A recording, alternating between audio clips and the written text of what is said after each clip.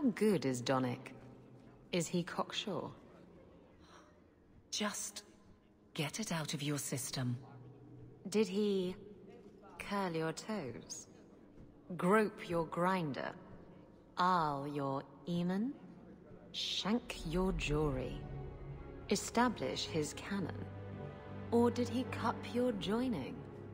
Yes, all right. He's an incredibly proficient lover. Happy? Well, that's rather personal, don't you think?